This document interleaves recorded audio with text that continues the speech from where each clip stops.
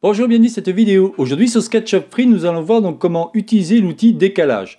Alors là, je vous montre une petite animation avec une armoire que je me suis amusé tout simplement à prendre en photo élément par élément. Et on va s'amuser à dessiner ça. Alors pas exactement à l'identique, mais euh, si vous voulez, le but c'est de toujours essayer de dessiner un objet. Et croyez-moi, c'est toujours pas évident pour moi d'à chaque fois dire qu'est-ce que je vais pouvoir vous trouver comme objet à dessiner, bien évidemment à taille réelle, pour qu'on puisse comprendre l'outil et tant qu'à faire dessiner un objet, euh, bah, histoire de rendre la vidéo plus agréable. Sans plus attendre, regardons cela sur SketchUp Free. Donc bien évidemment, avant de commencer, on va dire, la bibliothèque, on va faire en sorte de comprendre l'outil décalage. Donc là, je vais enlever celui-ci parce qu'il m'embête. Il ne me sert pas à grand chose. Là, je vais tout simplement utiliser la touche raccourci R, faire tout simplement un petit carré ou un rectangle, rien d'extraordinaire à ce niveau-là. Et on va utiliser en fin de compte l'outil qui se trouve au niveau du tiret poussé, qui s'appelle décalage. Donc vous avez celui-ci, c'est l'outil suivez-moi, ce sera la prochaine vidéo que je vous ferai. Et ce qui nous intéresse, c'est celui-ci. Alors vous allez voir, c'est assez simple. On l'a utilisé dans la... lorsque je faisais la boîte à thé. Je vous avais un peu montré comment il fonctionnait. Mais vous allez voir, c'est vraiment très simple. Il suffit de faire quelque chose comme ça. Vous voyez, j'ai cliqué en fin de compte. Alors j'ai recommencé pour que vous puissiez bien comprendre. Donc là, je clique dans le vide s'il veut bien. Hop. Donc je clique ici. Vous voyez, j'ai sélectionné ma face. Et en fin de compte, vous allez avoir un petit curseur. Alors c'est touche raccourci F1. F pour le décalage. évidemment, là, il m'a fait quelque chose que j'aurais pas voulu. Voilà. Et là, vous cliquez une fois et vous voyez, on va pouvoir faire quelque chose comme ça. Alors, ce qui est pas mal, c'est que si je le fais une fois, je reviens ici, je clique deux fois, automatiquement, c'est un peu comme le tiret poussé. Celui-ci va garder la dernière valeur euh, en mémoire, tout simplement. Alors, qu'est-ce qu'il fait en plus? Bah, Il fait aussi, par exemple, par rapport à une arête. Donc, si je prends deux arêtes, j'ai appuyé sur F et vous allez voir que là, si je fais ça, on va pouvoir faire quelque chose comme ça.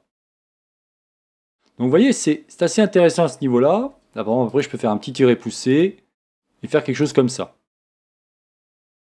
Mais il n'y a pas grand-chose à dire sur cet outil, sauf que comme je vous disais, là, qu'est-ce qu'on va faire? Ben, On va s'amuser à créer l'armoire, en fin de compte. Alors je l'ai complètement déjà faite, mais je vais vous expliquer exactement ce que j'ai fait pour que vous puissiez bien comprendre comment euh, décrypter et apprendre à faire celui-ci. Donc on va aller ici, je vais faire ouvrir.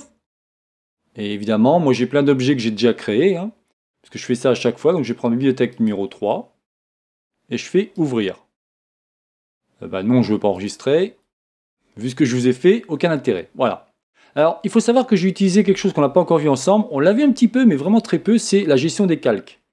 C'est-à-dire que pour vous montrer un petit peu comment ceci fonctionne, j'ai été obligé de gérer ça par calque pour vous expliquer un peu ce qu'il en est. Alors, ce qu'il va falloir faire, si vous voulez faire comme moi, il va falloir faire ici, alors vous pouvez faire un carré par exemple, ou un rectangle de 60 sur 188, d'accord? Petite chose aussi, au niveau des réglages, au niveau de l'info sur le modèle, ici, euh, parce que quand vous faites un nouveau modèle, vous êtes automatiquement en, pouces. Donc là, vous cliquez sur centimètres et la précision, vous mettez 0.0. Pensez ici à faire l'ancrage de longueur, comme ça, tous les 0,1 cm, celui-ci va se... ça va faire comme un point d'ancrage. C'est-à-dire qu'on sentira comme une petite accroche. Donc là, bah, je vous laisse regarder les mesures. Qu'est-ce que j'ai fait ici? En fin de compte, je vous dis, ça fait 60 cm sur 188 cm, d'accord Donc tout ça, vous savez faire maintenant, il hein, n'y pas de problème. Si je vous montre rapidement, pas pareil, hein, mais on va dire, on va faire quelque chose comme ça. je, fais vraiment un truc à l'arrache. Hein. On va faire quelque chose comme ça. Et là, mettons, ce qu'on pourrait faire, c'est un autre... Euh, alors, c'est pas comme ça qu'il faut faire. Il va falloir se servir tout simplement de l'outil... Euh, l'outil, comment dire T. Hop, voilà. Donc là, je me suis servi de simplement... Euh, sauf que j'ai pas fait ce qu'il fallait. Tant pour moi. C'est pas ça que je voulais faire, c'est qu'ici, en fin de compte, je voulais, avec l'outil T, vous voyez, on va pouvoir définir quelque chose comme ça. Ici, on va tirer un trait. À chaque fois, je vais vous montrer, si vous voulez, euh, comment faire pour que vous puissiez comprendre, mais sans le faire entièrement devant vous. Puisque j'estime maintenant, avec tout ce que je vous ai expliqué, il n'y a plus de problème. Vous devez être capable, vous voyez Donc ça va faire approximativement la même chose. Après, il faudra épurer, c'est-à-dire il faudra appuyer sur E pour Erase. Alors ça, on l'a pas encore vu, hein, c'est la gomme. Mais bon, vous inquiétez pas, tout ça, euh, on verra ça en temps voulu. Donc si je reviens au niveau de ma bibliothèque, qu'est-ce qu'on a fait? Donc elle fait bien 60 cm sur 1,88. Ici, vous avez à chaque fois 2,5 cm, et là aussi. Comme ça, au moins, vous avez quelque chose de propre. Continuons au niveau des calques. Ensuite, on va faire par exemple, alors on va dire euh, les étagères. Ouais, pourquoi pas les étagères? Ah, les étagères, c'est très simple. Hein. C'est un carré que j'ai créé de 55 cm sur 23 cm et j'ai fait en sorte de lui faire une épaisseur de 2 cm. Vous voyez, à chaque fois, je vous ai mis des valeurs, puis c'est bien comprendre. Donc là, je vais le supprimer. Les supports, c'est quoi? Les supports, alors non, on verra après les supports.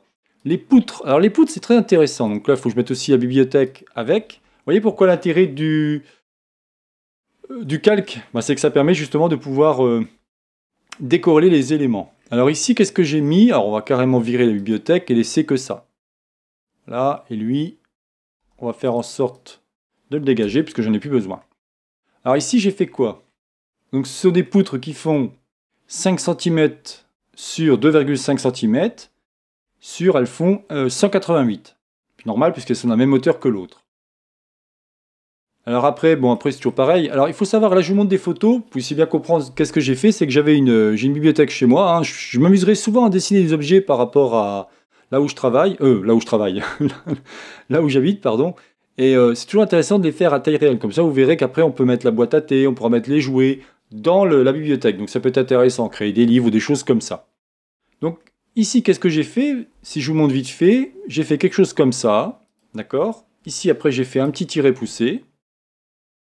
Pas de la même longueur, hein, on s'en fiche puisque c'est vous montrer un exemple. Hein. Et ici, je me suis servi de F, et j'ai fait ça une fois, et deux fois. Après, qu'est-ce que j'ai fait? Ici, j'ai fait comme ça, comme ça.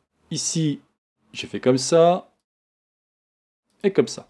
Je me suis servi de E pour supprimer les parties qui ne m'intéressaient pas, pour avoir quelque chose de continu.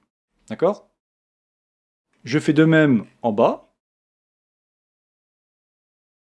Ici, ici, ici et ici. J'appuie sur E et là je supprime les éléments qui me dérangent. Et ensuite j'ai tout simplement fait ici un petit tiret poussé, tout petit. Voilà, ici il a gardé la valeur donc je double-clique et voilà. Ce qui m'a créé en fin de compte les rainures. vous pouvez voir au niveau où je remets la photo, vous pouvez bien, voir qu'il y a des rainures dessus. D'accord? Ensuite, continuons.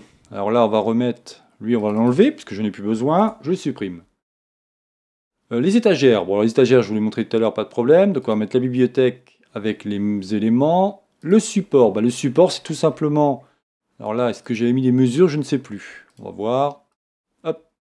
Je trouve que c'était plus sympa de vous montrer comme ça, ça m'évitait à chaque fois de vous faire des petits carrés, des machins, où là pour vous, il n'y a rien d'extraordinaire. Hein.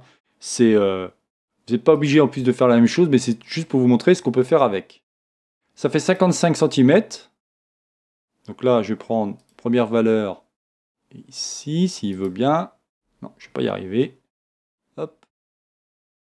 Ah oui, bah évidemment, je n'ai pas la bonne, le bon outil. Donc ici, il faut que je prenne l'outil. Voilà, c'est celui-ci qu'il me faut.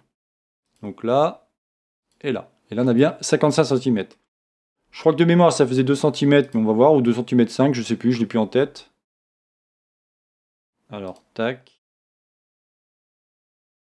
2 cm, et en fin de compte, ici, faisait,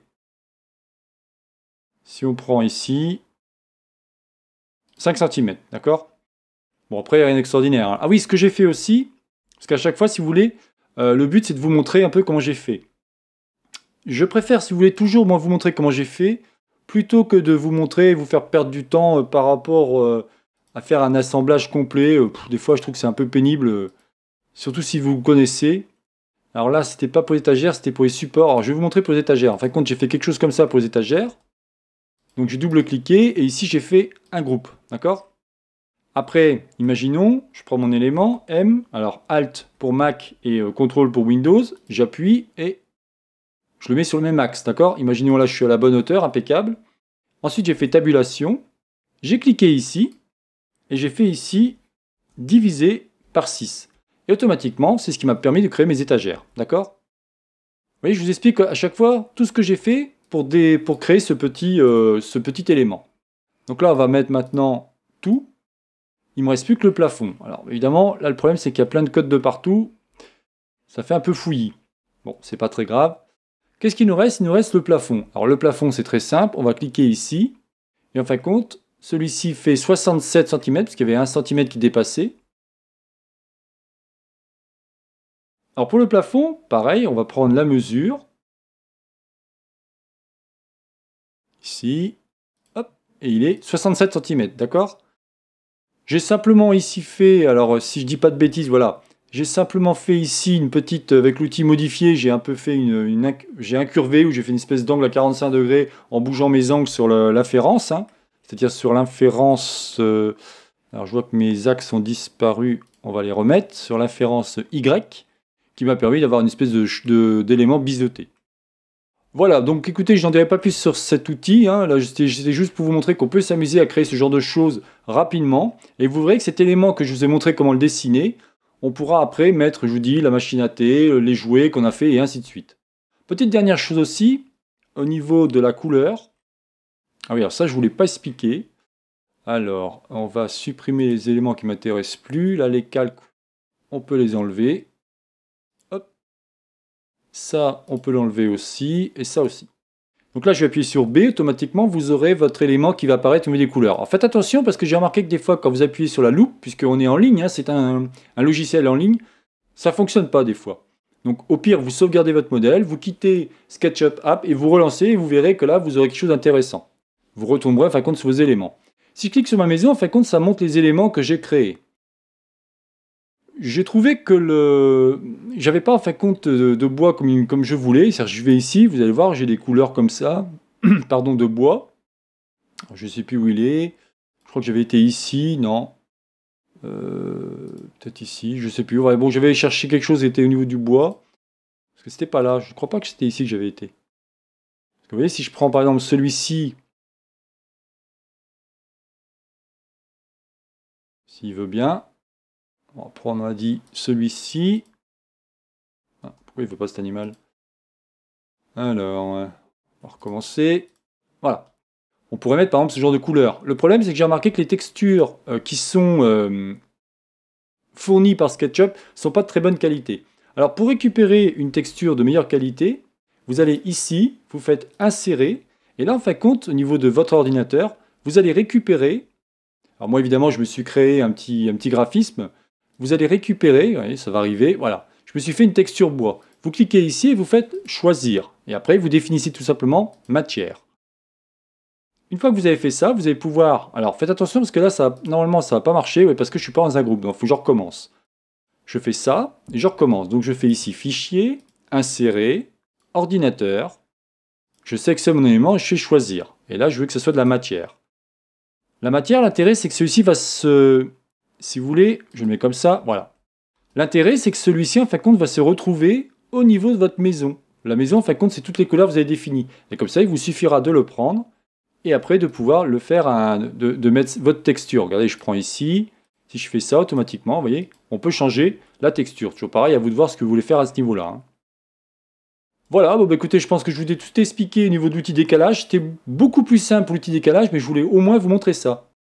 Et voilà, donc c'est terminé pour cette vidéo. C'est donc la chaîne Ça pour tous réalisée par Jean-Michel. Si vous avez aimé cette vidéo, n'oubliez pas de liker et tout simplement vous abonner à ma chaîne.